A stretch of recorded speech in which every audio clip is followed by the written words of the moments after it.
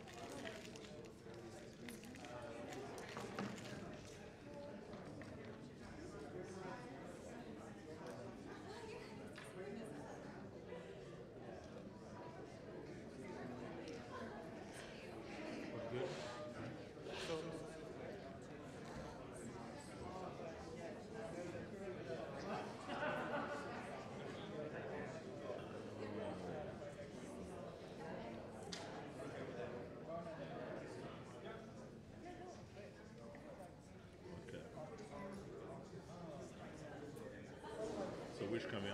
You know, Jovan? The fix?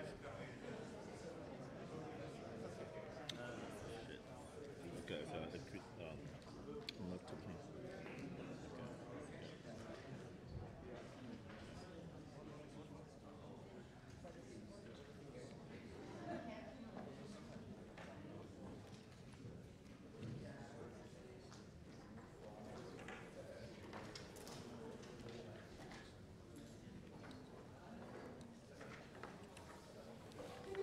You, you can just have this.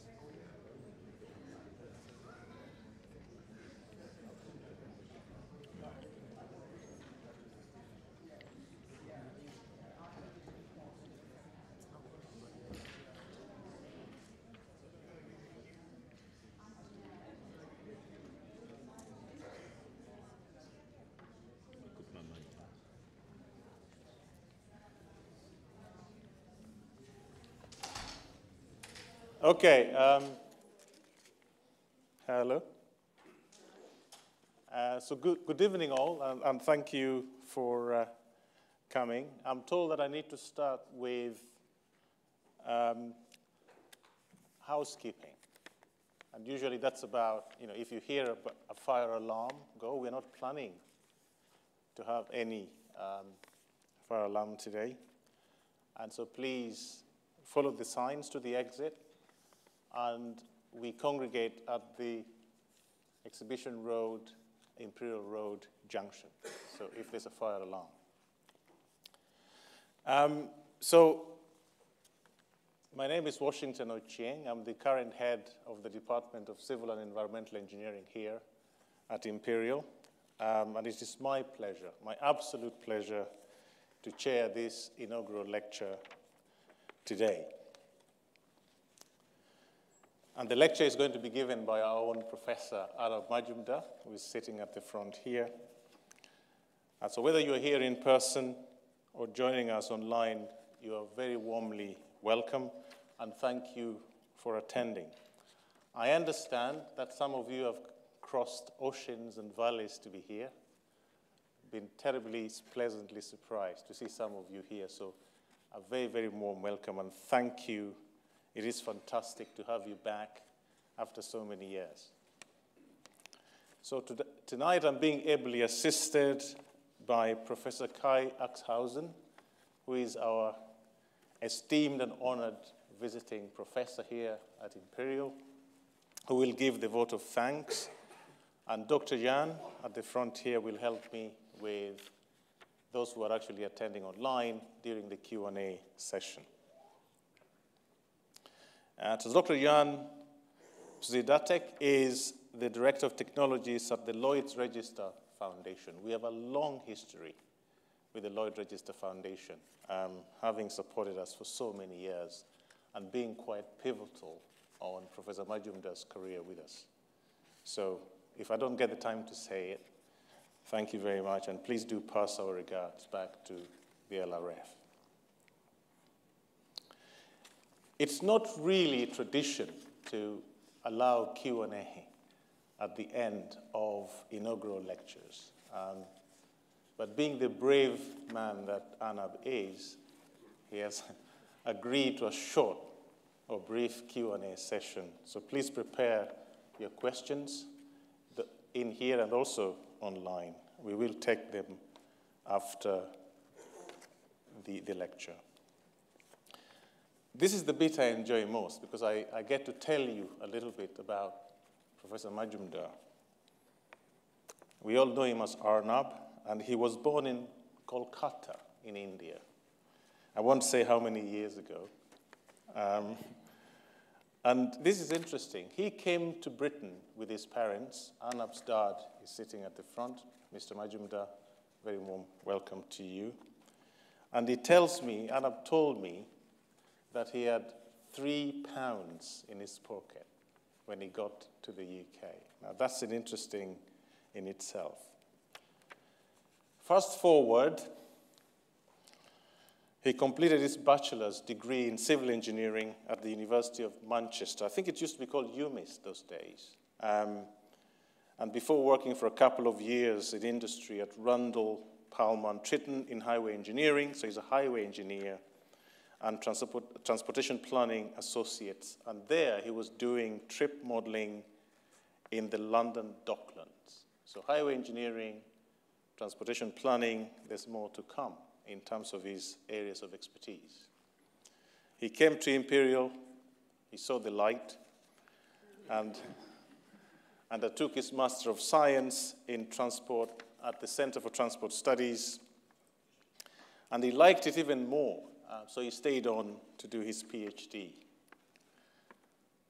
I think this is where I say that he introduced me to the task of supervising. So Arnab was together with myself and the late Professor John Polak, he was my first ever PhD student. So if I get emotional this evening, if you see some tears rolling down my cheeks, that's why.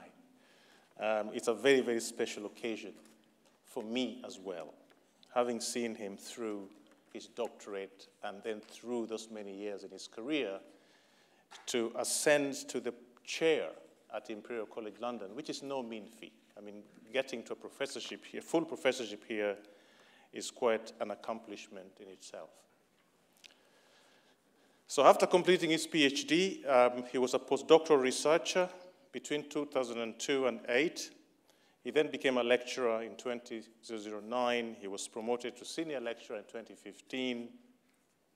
He learned how to read in 2017 and then became a full professor in 2021. So during his time at Imperial, Arnab has established himself as an international leader in the field of assessing human performance in transport operations, particularly relating to safety. So you get from highway engineering, you go through transport planning, you then decide to do human factors. I remember a discussion I had with Arnab one time because uh, engineers didn't pay that much attention to the people in terms of human factors. And so we discussed this because he was interested in workload modeling, air traffic controller workload modeling, and he decided then to go and pursue an MSc in psychology. So Arnab is the resident, an expert in human factors within the Department of Civil Engineering, and dare I say, across Imperial College London. Arnab has worked very closely with, within government and industry across different modes to ensure that the results of his research have real world applications and impact. He's very passionate about making a difference in society. He's a true collaborator, working with everybody in a very inter, multi, and transdisciplinary kind of way. And he's even worked with people from the School of Medicine and across the social sciences. He has led collaborative research and co-authored publications with academic and non-academic colleagues from oh dear, New Zealand, Taiwan, Thailand, Norway, Iceland, South Africa, uh, receiving several awards on his way to those places, ending up in Europe via the United States of America. So Arnab is a chartered civil engineer since 2016 and a fellow of the Chartered Institution of Highways and Transportation since 2020. He has led the Lloyd's Register Foundation Transport Risk Management Center since 2010. The center has not only led to high impact transport research, but also led to multiple award winning PhD graduates. Some are here tonight. And of course, those particular ex graduates are serving with great distinction wherever they are, actually changing the world. And that is fantastic. So the high regard with which Arnab Center is held was recognized by the Lloyd's Register Foundation with their award of Grant Holder of the Year in 2015 2016. Another no mean feat, another great achievement. So Arnab has also been a valued colleague and leader in our department and across Imperial College London. So within the CTS, that's the Center for Transport Studies, he has been our examinations officer since 2010 and admissions tutor since 2018 for our then intercollegiate MSc in transport.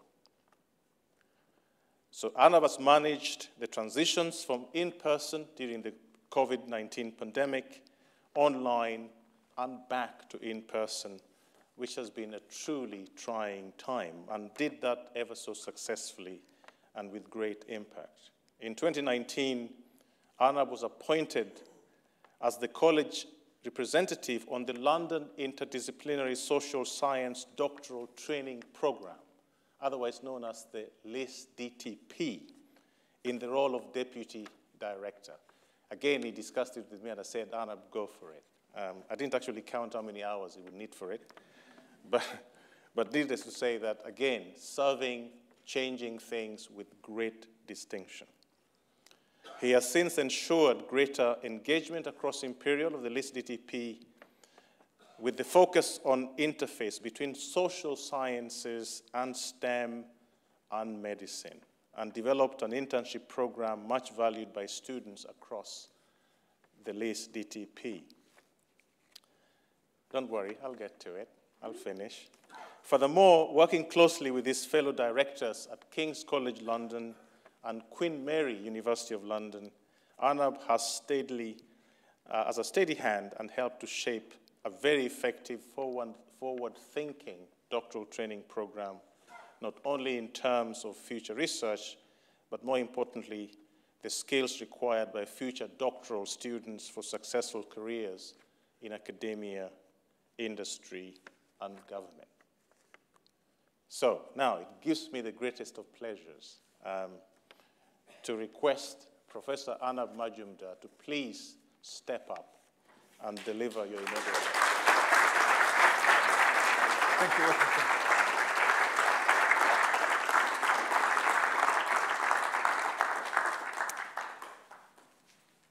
Thank you, colleagues, for attending uh, in person and online. Um, I was going to theme my talk today about a journey given its transport, but let's be honest, nobody's been on any journey today with all the trains on strike. So let's stick to doing something simpler, making the world a safer place. Ah, Is that the one? I see. Just because you're a professor doesn't mean you know how to click the right button. Sorry. Ah, there we go. Engineering a safer world. Um, so, a quick warning uh, to you, because this presentation will contain images and information that might be difficult to view. Uh, I work in accidents, I work with uh,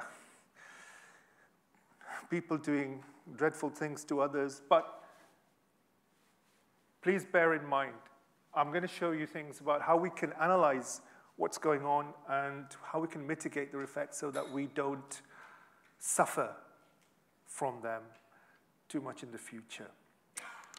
Right, so I am in the Department of Civil Engineering. As Washington said, I'm a chartered civil engineer, so I really must, must know what that is. And, um, but not everybody in this audience is a civil engineer. Uh, some of you are in other fields, and therefore, I'm going to give an introduction which tells you what is civil engineering. Then it tells you, even those who are civil engineers may not know too much about safety. So I'm going to tell you a little very brief uh, overview of that. And then, even if you know about safety in civil engineering, you don't understand why it's so complicated for those of us in transport. So I'll give you that. But this is a primer, bear with me for it. Um, but I'll start off with what is a civil engineer. This is very interesting for us in, in our section because we're going through a, a rebrand and re and I was thinking to myself, no, we can't be calling ourselves engineers until it was pointed out that's exactly what we are and what I am. So I went to the veritable institution of civil engineers, the American Society of Civil Engineers. What is a civil engineer? What do we do? So it's about everything that's built around us. Um, the Americans throw in a few more things like energy systems, cleaner environment, etc. But it's about buildings, um, infrastructure, without which it'd be very hard for us to live. Think, okay, I, I understand that. I don't, can't remember when I last designed uh, an office or, or, a bridge, but never mind. I, I understand what this is about. But what skills would I need then? So this is from the European Council of Civil Engineers. The red box is what I think I did uh, in uh, my undergraduate. I know about mathematics, physics, chemistry, biology, materials. I passed a materials lecture, indeed. Um, the exams and design, we, we do a lot of that, uh, group design projects. And increasingly, sustainability. Of course, it's important. The part in blue is when I went, well, I can't remember having done any social sciences or anything in particular about ethics as an engineer, but I'm supposed to be knowledgeable in that. Okay, and, and what skills should we as engineers have? Civil engineers. Basic engineering tools, yes, I can do that. Learn about assets and master new technology. What, like virtual reality, or uh, understand what artificial intelligence actually is. Right. No, I, I, I'm not sure I have those kind of skills to the level they should be at. So today, I hope in this talk, we'll talk a little bit about what's in the blue and what's in the green. The red, I assume, as engineers, you would expect us to know, but I'm not too sure about the other two. So let's go. Um, safety 101. As I say, not everybody who's an engineer knows the intricacies of safety, but we all kind of know what safety is, right? We, we bandy it around. Is it safe? Oh, this is safer than that. The, the trouble is, safety, how you understand it and then subsequently measure it, depends to some extent on what your view of safety is. For some, it's about following rules, right? A safety, this theory goes, if we all followed rules, there'd never be any accidents. Yes, well, that's a simplistic view of the world, and, and you know, inveterate law, uh, rule breakers will say, well, who made these rules? You know, and in a complicated world, rules are a compromise. So is this really the kind of view you want to take. The second view is, well, actually, safety is the absence of any accidents. Now, I understand that. It, surely it's not safe to have any accidents. But is that so simple, though? And I say to you, having changed a light bulb, as an engineer, we have to do that once in a while. Having changed a light bulb at home, teetering on the edge of a creaking chair, just about managing to change the light bulb. Yeah, I didn't have an accident, but it didn't feel safe. And God knows one day, you know, the, the chair won't bear the load. So, mm, well, that's one way of looking at it. And the third way, perhaps quite common, is safety is taking acceptable risks. Got it. Some of you will have come in by car, some of you will have cycled in. You would have taken a, a risk. Know, man, risk manage. You'd have done some risk management and thought, you know, I know whatever I do, there's some risk involved. Here's the point. Do we really know about the risk? You know, um, financial risk managers, even they have imperfect information. Who are we to know what are the risks involved? And what's acceptable? Who decides that? What is acceptable or not? So now we've got three layers of complications here about safety. So let's fall back onto our old friend, the Oxford English Dictionary, and it tells you uh, safety is very easy to define. It's a freedom from danger, injury, or damage. And interestingly, the tranquility of an operation and the fact it doesn't endanger the environment. You think, okay. And it also tells you, by the way, safety is a relative thing. So often I get asked by people, which is the safest airline? And you think, mm, should I travel by uh, whichever airline, Aeroflot or some other airline or British Airways? And you think, well, yeah, you're, you're, which is the safest airline relative to what? You've got to have that relative part of it. Now we come to the third layer of difficulty. Because modern transport systems are highly complex uh, environments. What we see is when you look at the accident data from road to maritime to railways to aviation, in about 70% of them, you've got human involved, 70 to 80%. I'm being very careful to say they're involved and not causing because that's not the term. It's in a complex socio-technical system, as transport is, causation is a, is a difficult word to live with. What is a socio-technical system? Well, it's basically where people, human beings, interact with technology and procedures to give you a service. Those of you who flew in today will have known that is a socio-technical system. You've got air traffic controllers dealing with it, pilots, technology, etc.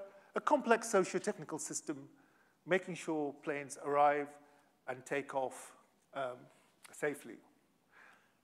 These systems are so complicated, of course, that you've got lots of uncertainty, inevitable uncertainty. And the fact that you've got humans and the organizations in which they work complicates matters enormously. Human beings are not, not inanimate objects. They, they complicate matters. And don't forget another word, the culture in which we operate. Oh, workplace culture. I'm sure all of us have had plenty of um, opportunities to discuss this with colleagues and perhaps all, if there's one thing I've learned everybody's trying to change the workplace culture, right? So obviously it's something that matters, but I'm not sure people truly understand what that would involve. Very simply put, there's hazards in these uh, socio-technical systems, and a hazard is something that can cause injury, but doesn't have to, injury or harm, doesn't have to. The idea goes, identify the hazards, um, then assess their impacts, mitigate where needed. It's so simple. But the thing is, hazards are everywhere. They're everywhere. From the, look at an airport, from the layout of them, the intersection, uh, secting runways, etc., where possibly two planes could be at the same time. It could be the procedures operated, say, when bad weather strikes or as a, high wind. Most importantly, human performance uh, is a very, very tricky one. Um, if you think noise lighting, etc., don't impact on your performance. Ask the students when they're taking their exams and there's somebody drilling next door. Oh, it affects uh, how they perform. And then you've got organizational factors where, of course, every organization says safety is their number one priority and then decides to give dividends to shareholders rather than spending money on safety training programs. Luckily, we've got a safety management systems in place which tell us how to, systematic approaches to managing safety. So you think, okay, great. What's the problem? Well, identify the hazards should be available uh, easily enough. And I'm going to add one other aspect, and, and this, to my friends and benefactors in the Lloyd's Register Foundation, is something I have understood over a decade and a half. For those of us who research safety in transport organizations, it's not enough to write clever algorithms. Perhaps you have done that. Write elegant and large theses, and, and let's face it, to my former PhD students, you have written some large and elegant theses in the past. and it's no good to say, well, you know, this will make the world a better place. Oh, yes, some nebulous intentions. Oh, yes, of course, this uh, equation will make the world. No. Anybody working in safety research must, must, and I, I emphasize it twice, show that the world is going to be a better place uh, than before, and lives will be saved. otherwise, it's just an interesting exercise. Might as well have you know, collided some protons into whatever they collide protons into in physics. Anyway, because we don't want repeats of, of what you're seeing there. We don't want another Ladbroke Grove. We don't want another Costa Concordia, all of which leads to fatalities. And when you look through the inquiries, you think, well, things could have been done to say, stop this. We could have made this better. And we didn't. So now, having explained that to you, let's get to the meat of the presentation today. And this asks, I'm going to show you three things here through a range of work that the researchers I've worked with have uh, shown me over the years and, and influenced. What are the problems we face? What can we as civil engineers do about it? And how well do we work effectively with other disciplines, whether it's medicine or whether it's the social sciences? So let us begin with the problem that pretty much all of us working in safety faces or in anything, data.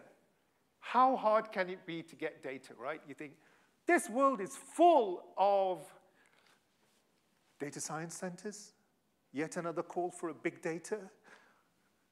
And yet, actually, I'm going to tell you, for those of us who work with humans and organizations, it's not true that the data exists. And even when it does, it's not particularly useful in telling us why something happened. It's just data. And somehow we magically think, rather like alchemy, that if we have lots and lots of data and do lots and lots of stats, somehow the world will be a better place for it and people won't die. May, maybe, but no, I've not seen that happen. So, okay, you might say, but surely the data exists. Yes, it does. This is a very simple one. A couple of my researchers have looked in the past at general aviation aircraft, small planes, small private planes uh, landing, and this is work we're doing with the Canadians, which said that, look, most of the accidents that happen are when these planes are about to land, right? The pilot tends to misjudge the landing, um, look through the safety data and find out why they're doing it. All right, and the Canadians very good database. They keep everything well. Now I'm going to show you something here, what it actually looks like when you're trying to analyze it. Yeah, you're not meant to read in detail, but there's just two accidents there that show you. It's the narrative which will tell you why, and look how variable they are. Look how one tells you a, conversation, the other one says, oh yeah, this, this happened. How on the earth are we supposed to work out why the pilot did what they did? Why did they misjudge the landing? This is simply not adequate enough. oh, the data exists. People will say, well, why don't you do some stats on it? But will we be able to prevent another? Nope. Then we go and say, well, hold on, there's even one more problem with such data. Theory tells us, a theory says, well, actually, you know what? The theoretical pyramid says, first, there's a causal chain. You have a certain number of unsafe acts, leads to smaller number of minor injuries. One of these will be a fatality. If you manage to stop, find out the factors that lead to that unsafe acts, will prevent the injury. It's the accident. It's logical. You think, yeah, I understand that.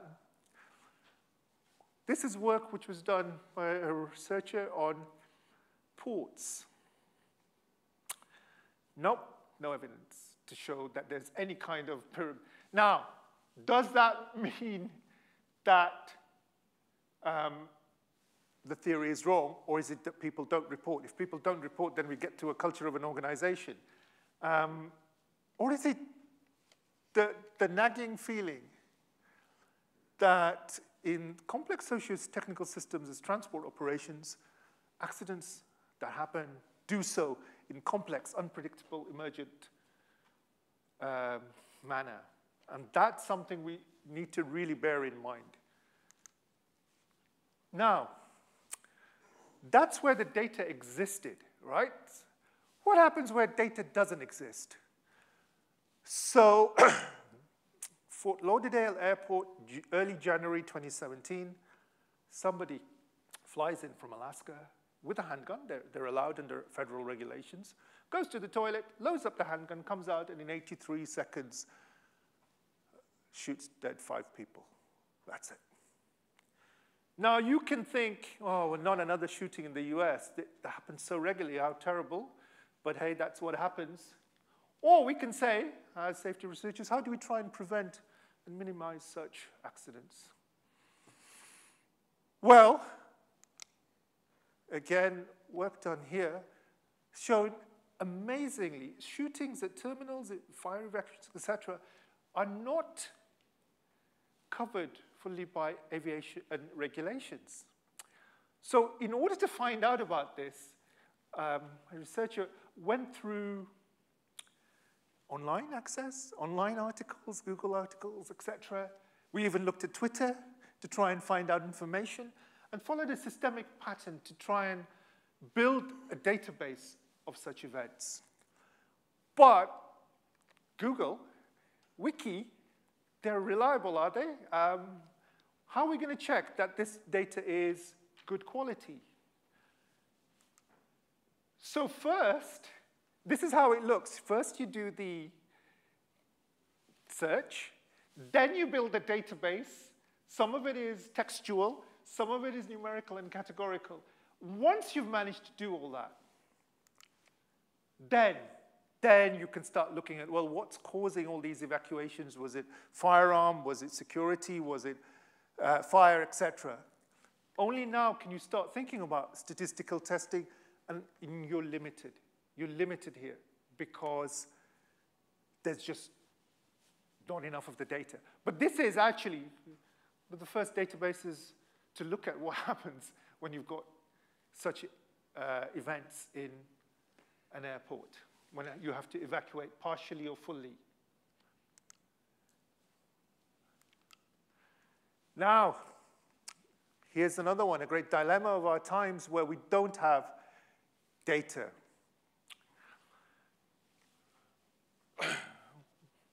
The unfortunate fact about this world is there are going to be people who are displaced for reasons where their life is at stake. Horrendous, unfortunately, if there's one thing that's been pretty constant is people have the ability to do horrendous things to other people. And as long as that happens, there will always be the need for displaced persons to find place of refuge. But how did they make the decision to travel as they, as they do? It's an interesting question because uh, ultimately, aid agencies need to know where they're going to go to, right? Because that's where the relief operations will come.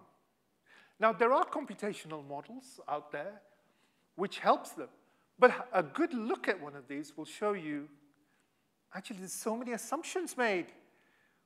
Computation, computer experts know nothing of the uh, people involved. So they make assumptions about various inputs, following this distribution, that distribution. So one of my researchers recently took on a, a task which has taken over a year with a linguist from Queen Mary as part of the work we've done here, um, to look at refugee transcripts and find out from them the quality of the data involved. I show that on the left-hand side to show you that this, again, very much like the work that was done on the active shooter, is, is not straightforward. You have to sit down, you have to reflect, you have to think about the biases that are in the transcripts, you know, uh, refugees who've escaped lives and want um, to have a residence in another country do really need to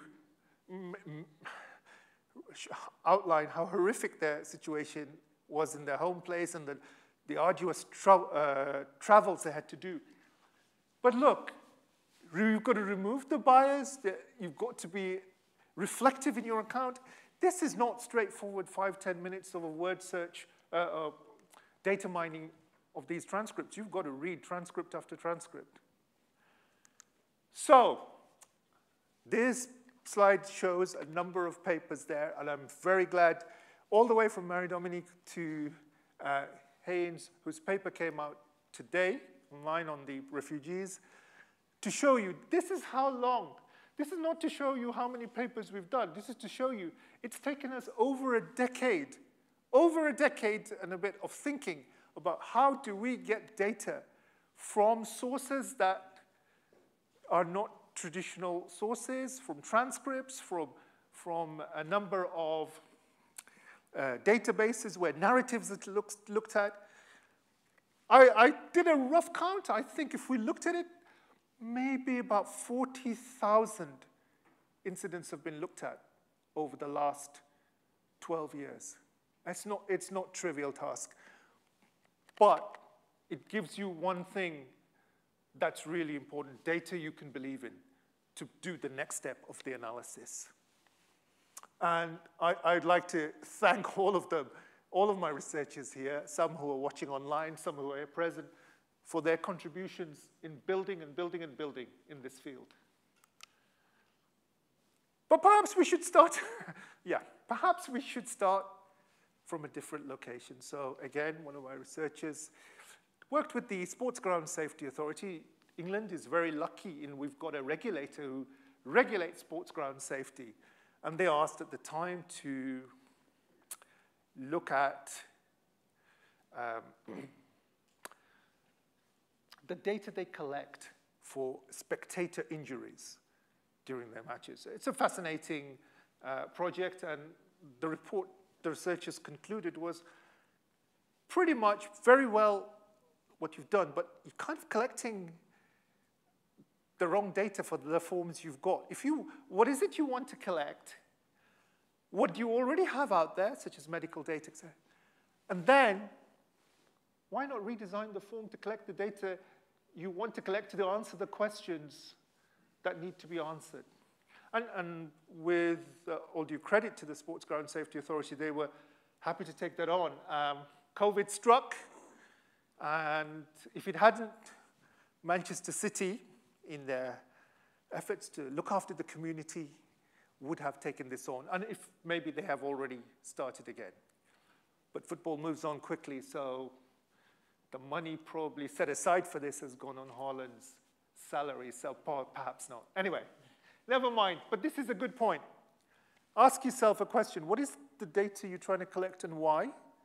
And then design your forms around it. Don't try and fit it onto something that was relevant 10 years ago or something like that, which is quite often what we see.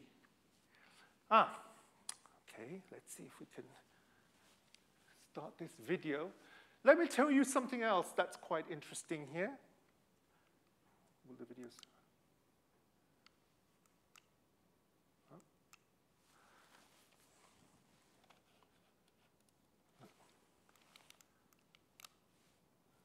No? Do you know how the video starts?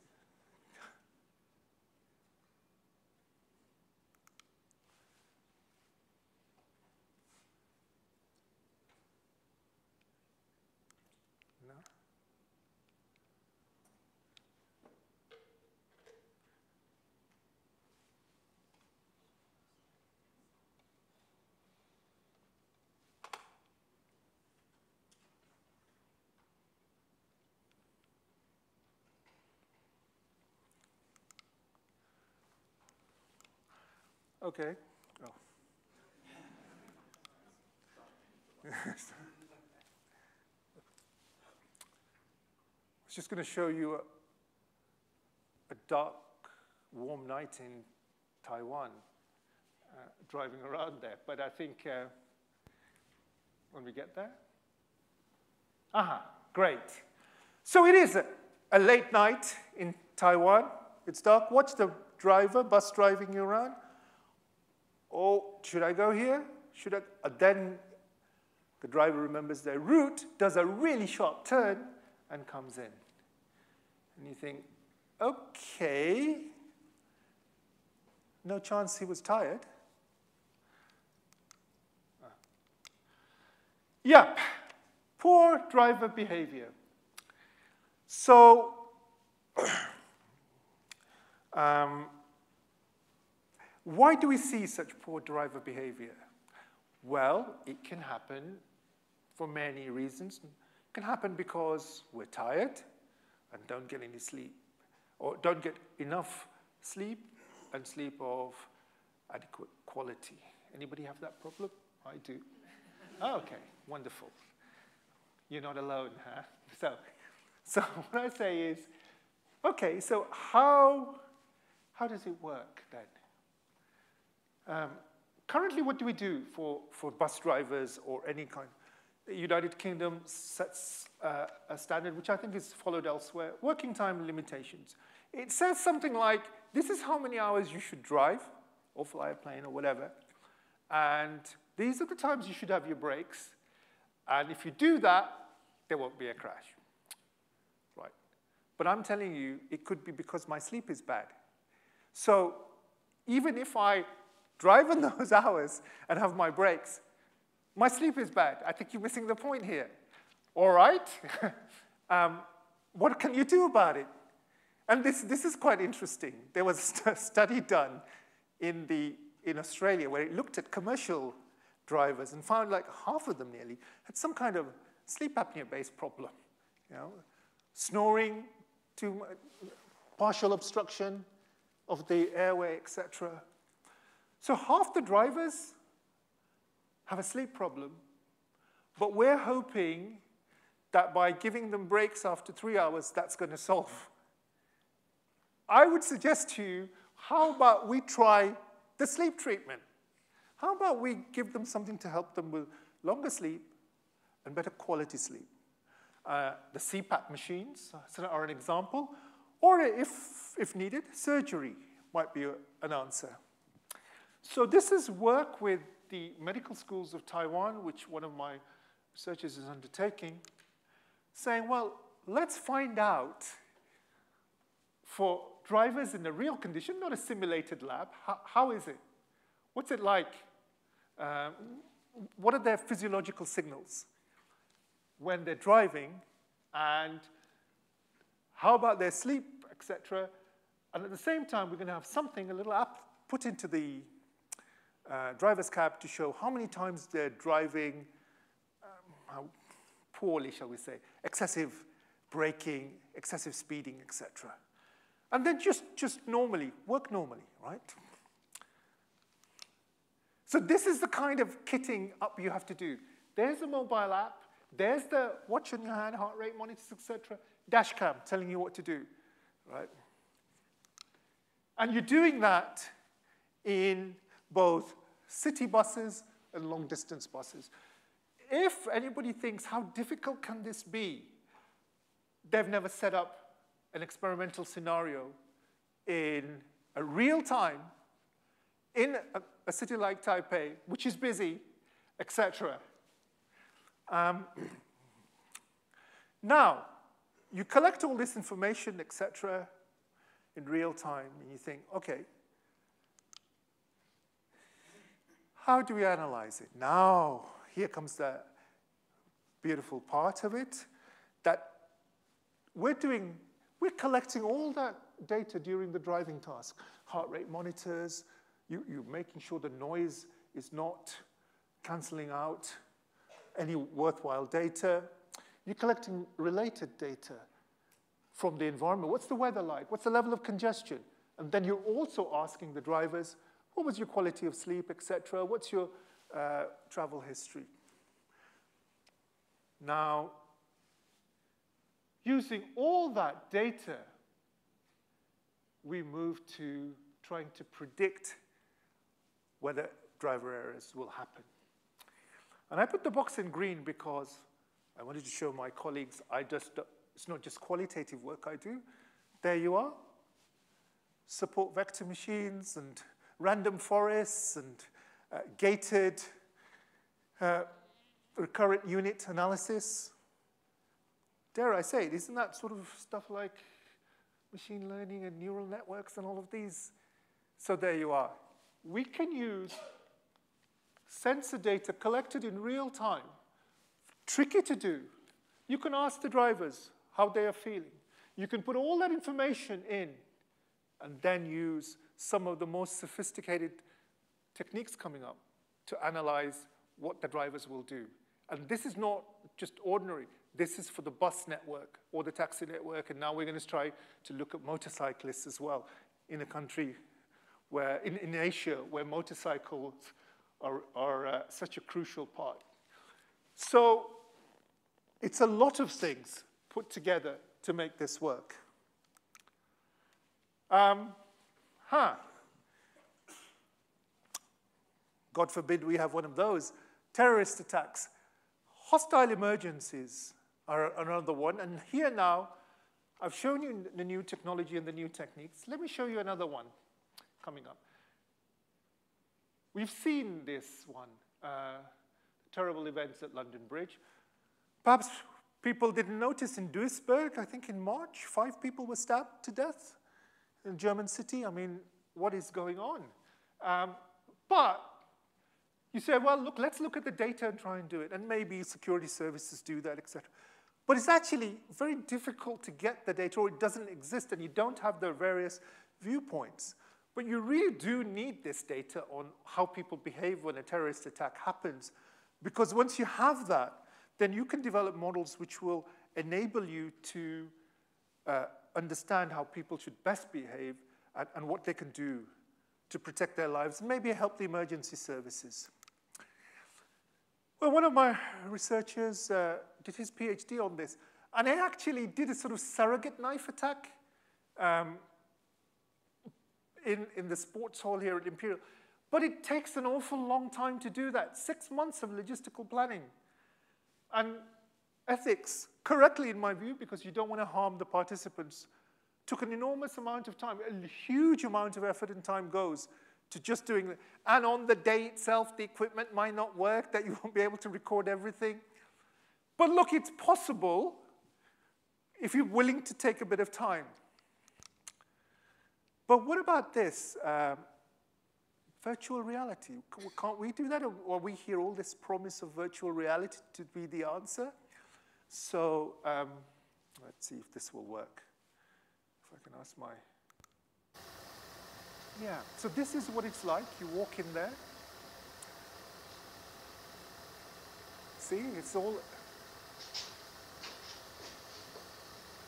You're walking around and you, you've looked at the part. Is this one got the sound or off? Uh, okay. So if you play, so so there are uh, there is uh, distressing language, shall we say? That's why the sound has to be off here. But if you play it, please. This is from the point of yeah, one of the participants. The attacker is attacker's coming, etc and people are going to hide.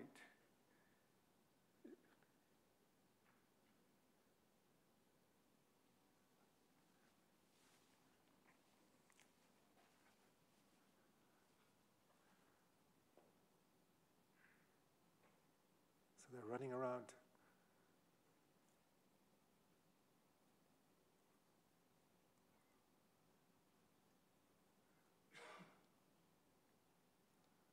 Yeah? What you saw in the sports hall was replicated in virtual reality.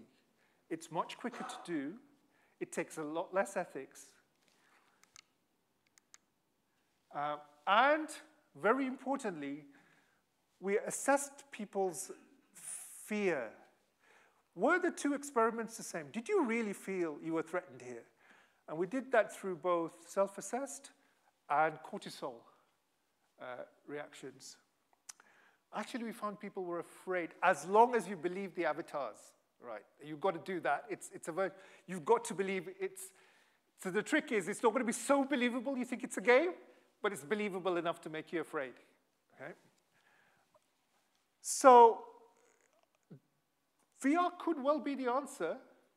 I, I hope so, because that's where a lot of my research is going into, trying to use VR to look at how we could, uh, what to do when we have terrorist attacks uh, and, or life-threatening situations, or when um, we can also help the emergency services. Now, another very interesting part here is to do with the visually impaired. I told you uh, we would look at people. Transport, uh, I would say, for all the good we do, and all the wonderful words we say about accessibility, sometimes fails to live up to its promise when it comes to certain marginalized groups. And the visually impaired are amongst those who suffer, I would say, the most. Uh, the number of visually impaired is increasing in the UK and will, will increase more. Um, and it's extraordinary, only 25% of them are employed, which makes it really tricky for them to be full participants in our society, which is completely at odds at, at how we should be looking at this world. So, a visually impaired student took this on as a PhD, recognizing that there's a wide spectrum of impairments possible out there.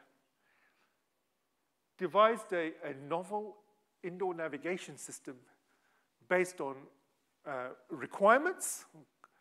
God forbid, we, we've asked visually impaired people what their requirements were. I mean, we'd never done that before. And uh, gave them back, I would say, some control here, some, some mobility in their lives. A smart cane, a, a, a very clever way of looking at it, working with WeWalk, WeWalk a smart cane, working with uh, Professor Ochieng, his navigation skills, etc., to try and look at how we can bring mobility back to a community that has it curtailed. Now, it's not that simple. I, I, think you thought I would say that. It isn't that simple. Because if you want to set up an experimental work, it's tough enough doing experimental work with the uh, visually unimpaired. Imagine trying to do that kind of experimental work with people with any kind of impairment, right? So a separate, so a whole experimental test bed was designed, which took into account such aspects as turns, diagonals, and tested a variety of visual impairments. Um, if you can start the experiment. So, if you see what it actually involves. And stop. Yeah. And stop. Now E to E. Straight section E to E. One go. And stop. Now ski back to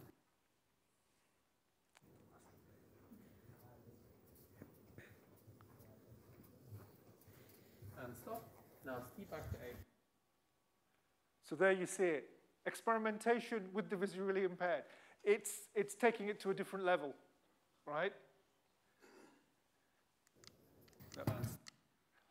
But that wasn't where we stopped it.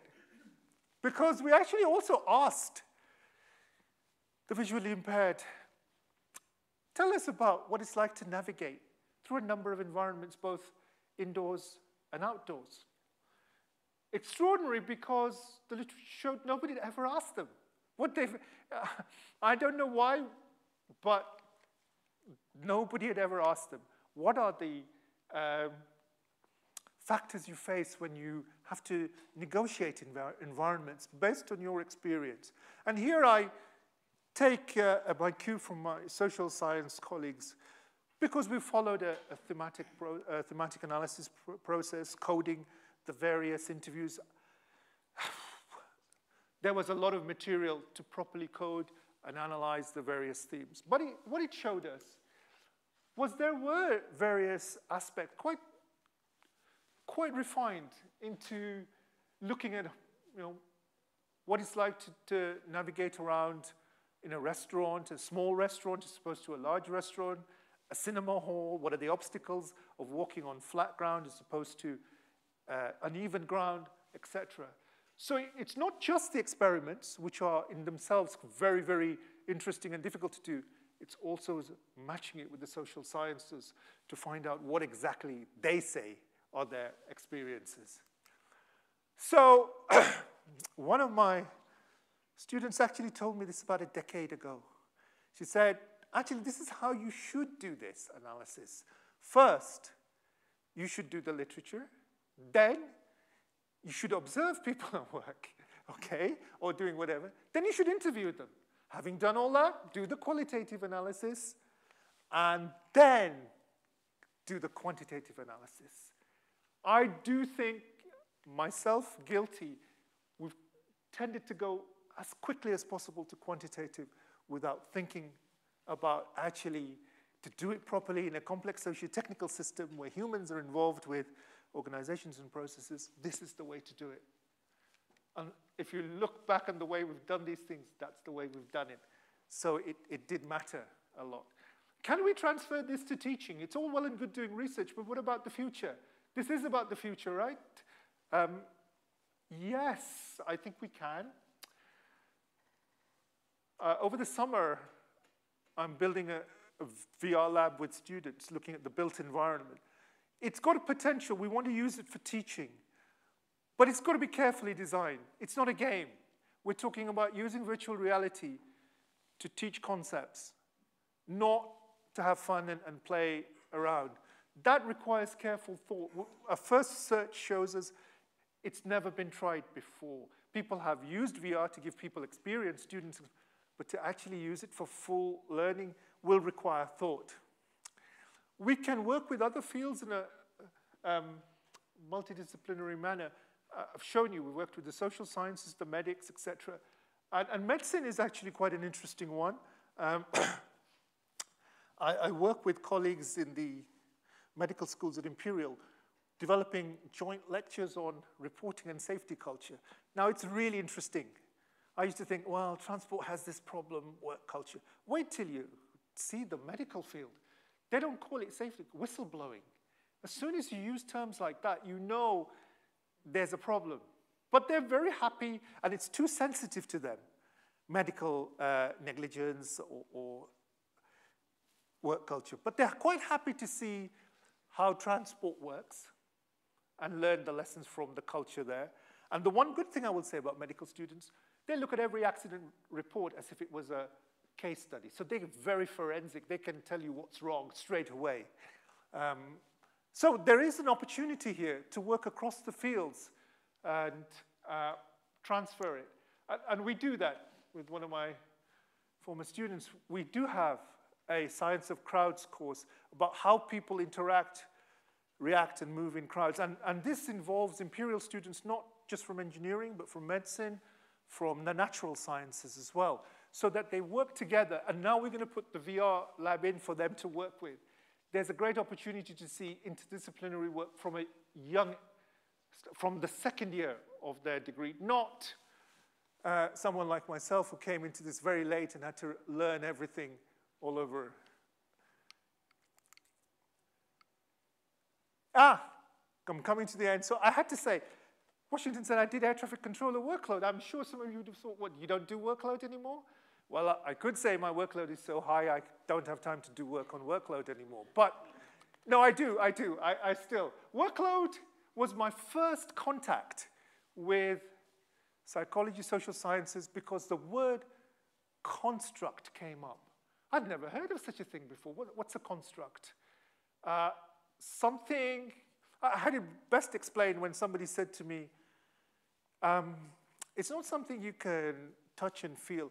You, can't get a pint of workload, right? I said, oh, okay, it's not like that. Here's a pint for you. It's something you have to infer, okay? And then words like phenomenological came out. That's not easy to say. But I began to understand this is a domain that's almost alien, but we can't ignore it. And the problem was, at the time, workload limits in airspace capacity um, meant that it was limiting airspace, especially over Europe.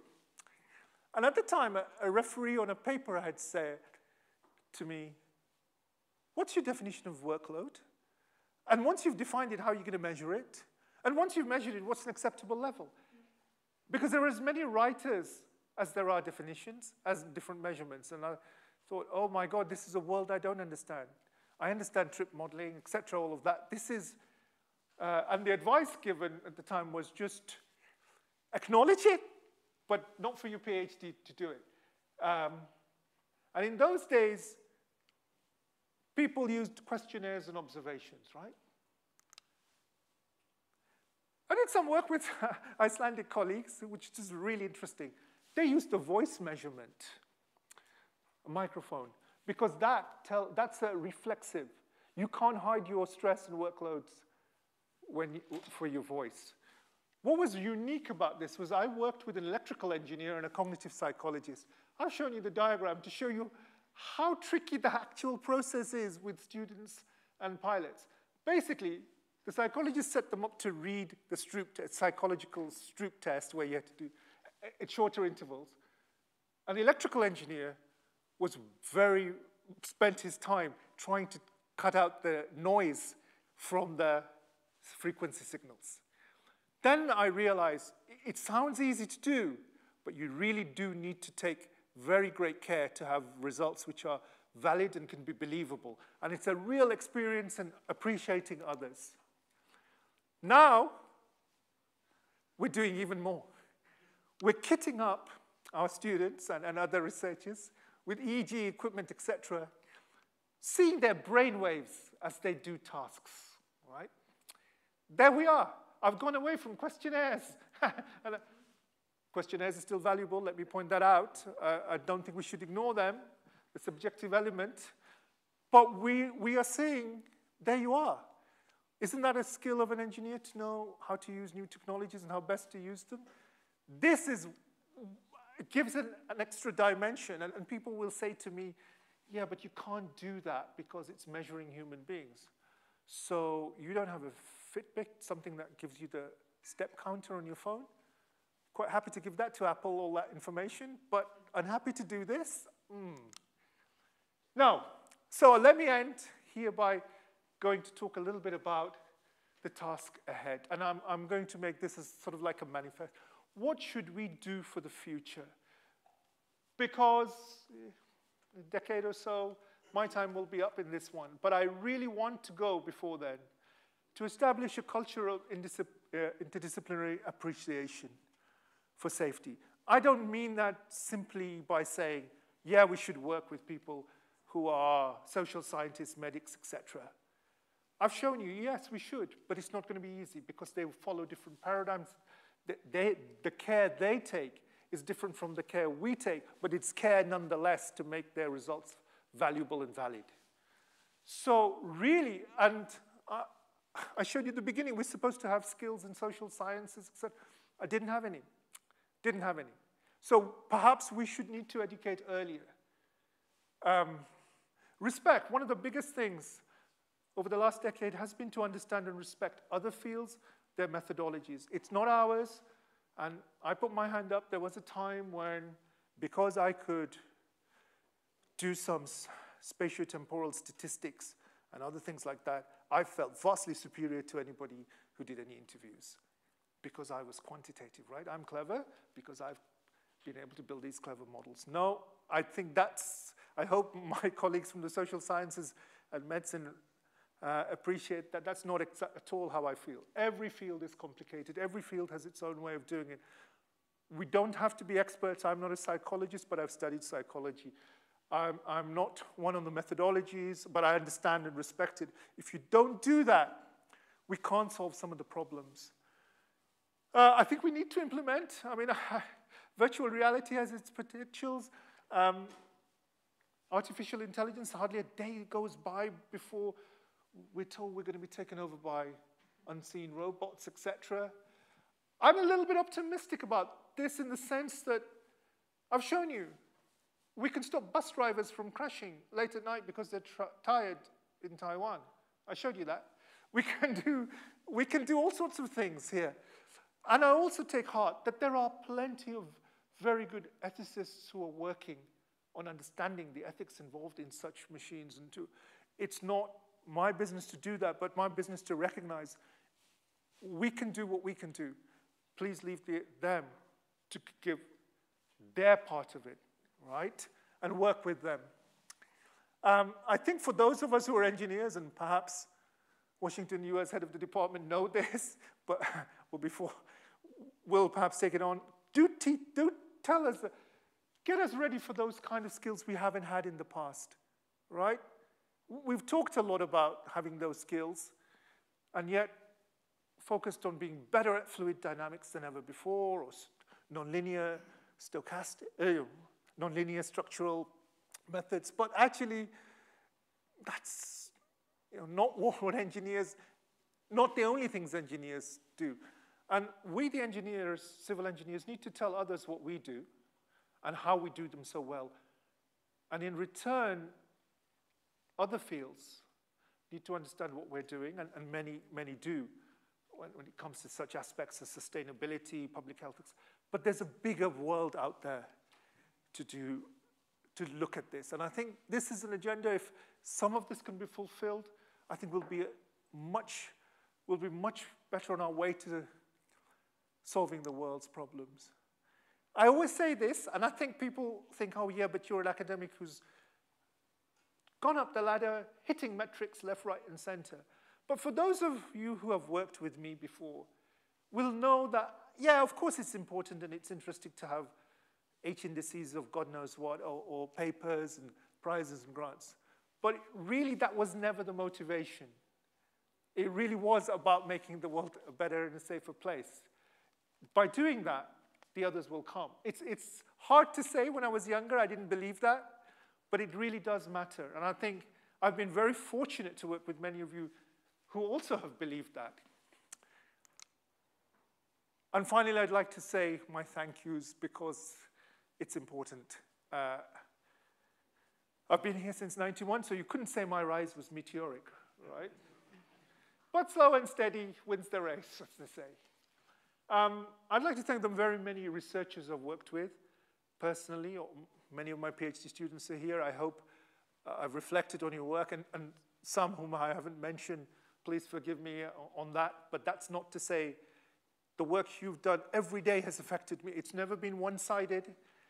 The ideas you've come up with, the, the arguments you've had with me about it have all had an enormous influence in my thinking, evolving, and understanding better. Uh, I'd like to thank colleagues in the Center for Transport Studies. Um, I've known four or five different directors from Professor Ridley, who was a great um, inspiration, the late John Polak, who I got to know well, a man of incredible contrast, whom I appreciated well. Uh, Washington, I don't need to tell you how much I owe you, but in case I do need to tell you, thank you very much.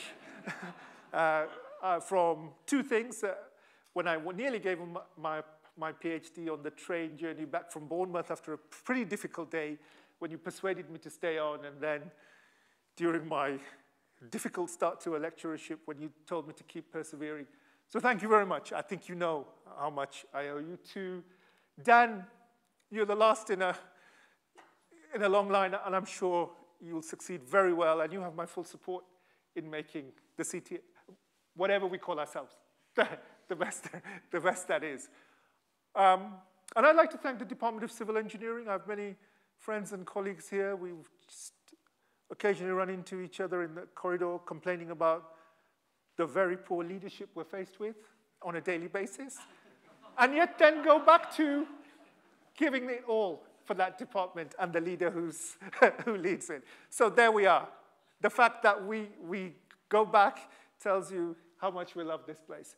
Um, when it comes to sponsors, there can be no doubts, uh, and Jan, you're here, how much I owe the Lloyd's Register Foundation, how much so many people, you know, um, literally is so, so many who owe the few of their Lloyd's Register Foundation because one thing that you have given us is the freedom to work, to, to be, the experience of running teams, the experience of coming up with research agendas, the experience of actually forcing us to make the world a better place, always asking, but is it better than it was before? And uh, from the many directors, from the Lloyd's Register Education Trust to today, I, I'm really grateful, as I'm sure many of the PhD students are, and we hope we've made the LRF a very proud organization. And also, I don't see anybody from Eurocontrol. All I do, I do, I see.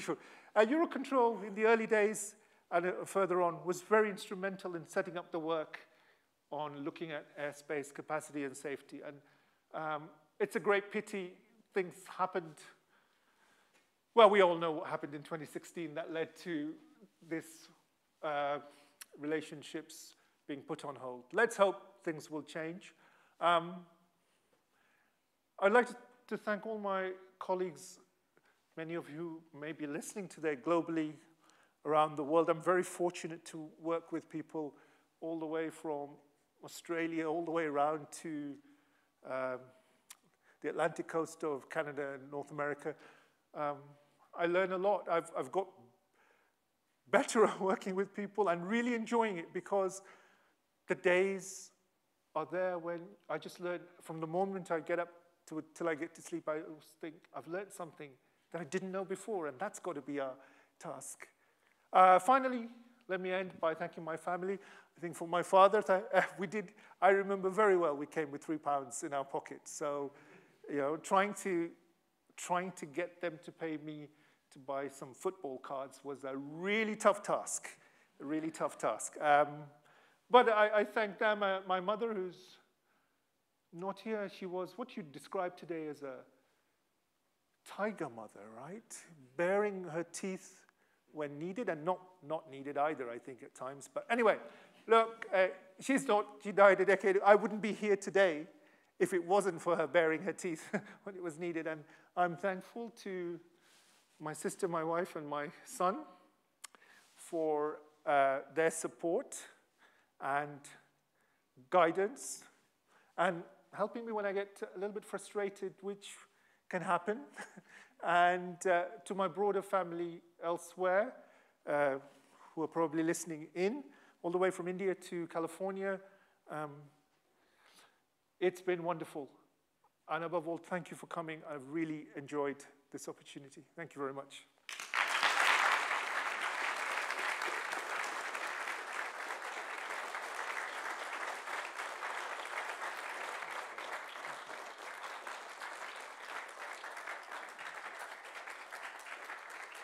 Okay. Um, we have time for a couple of questions because I promised it at the beginning. That's what I call a tour de force.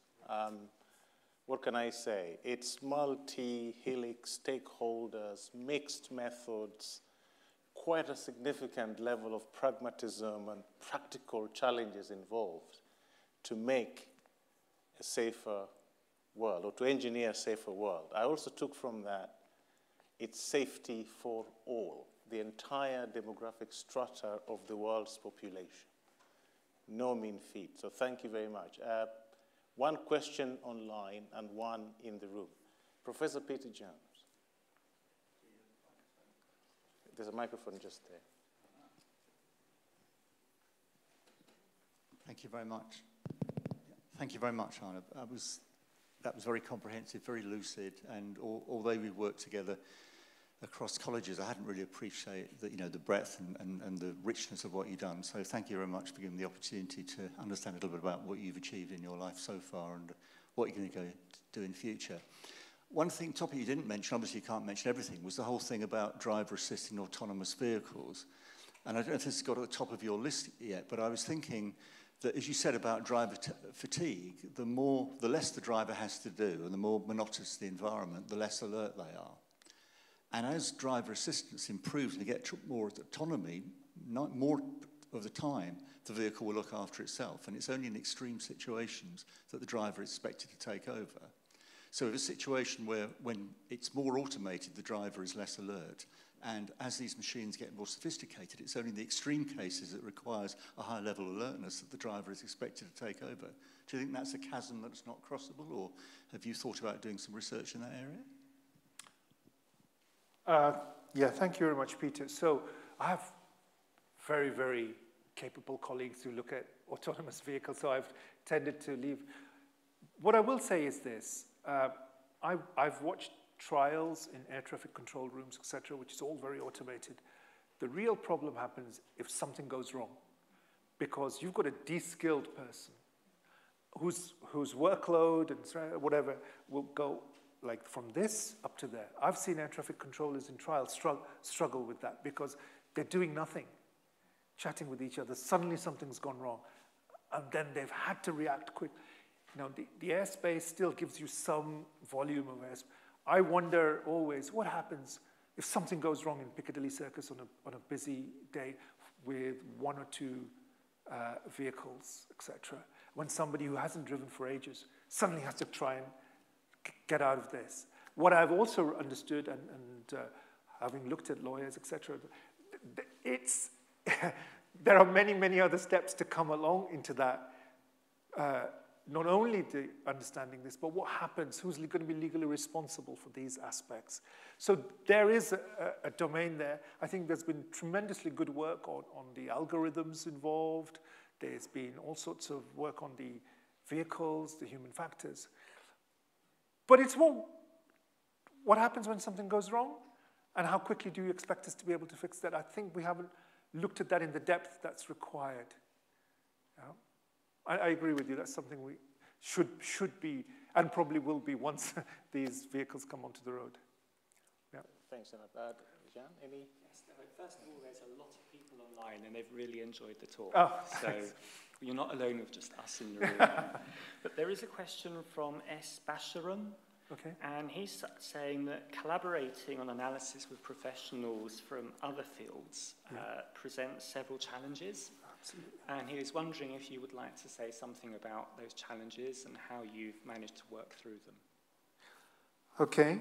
Um, I would say, you know, every field, every field has different paradigms and assumptions, right? Um, that, you know, those who are engineers or natural physicists or whatever, we're used to doing what we're doing, and we've built on this understanding what the other field does does require a lot of work. Not just hours of meetings, but maybe reading up as well, understanding. Um, you know, when I, when I took on this LISS role and, and increased it, I, I was busy trying to understand what the sociologists say, sociologists, you know, from Durkheim to um, Marx to all of But it was, it was completely new language. So you've got to spend time and effort understanding, but I do also think it, it comes from respecting the other field, understand their methodologies, but also make sure they understand yours. So there are challenges there. I've shown you today that it's not going to happen overnight. If, if, if you give a diktat and say, in six months I want interdisciplinary work all across the universities of the UK, I would suggest to you, well, that's, you know, you'll get the wording, but not true interdisciplinarity, not true understanding. So I think Give it time to understand what's involved here. Um, and try and understand the other topics as well. And make sure they understand back. That I think is very important. Yeah. Thank you very much. You can rest your feet now. Thank you. Thank you very much.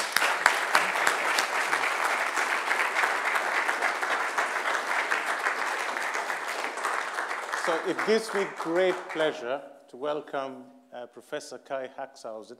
Um, I knew of Kay a long time ago. So his trajectory, at least as far as I know, started here at Imperial College, then went to ETH Zurich, Singapore, and all of those different places, also making a difference in transport globally. So it's my absolute pleasure to welcome Professor Kay Axhausen to give a vote of thanks. Kay.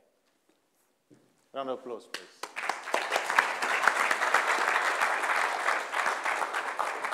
Thanks, uh, Washington, for inviting me. Thanks, Arnab, for giving this really interesting, comprehensive talk.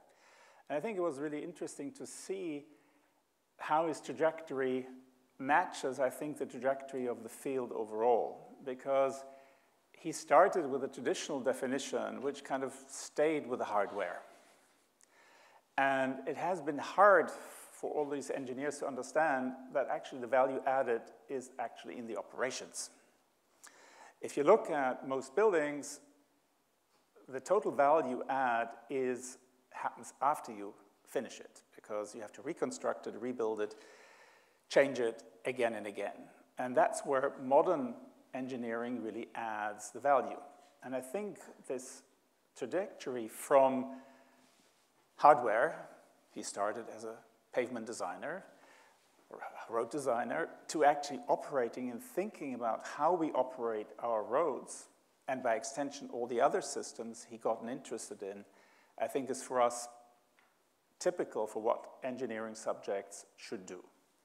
Yes, we have to know about the hardware, but we have to think about how we operate it and how this operation then interacts with society and how we interact with the others interested in the infrastructure, but also in the interactions, the operations, and the societal impacts we will have. And with that, I think an apero, some drinks are waiting outside for us. Before we say thank you for that, I would like to say thank you one more time to Arnab and to the department.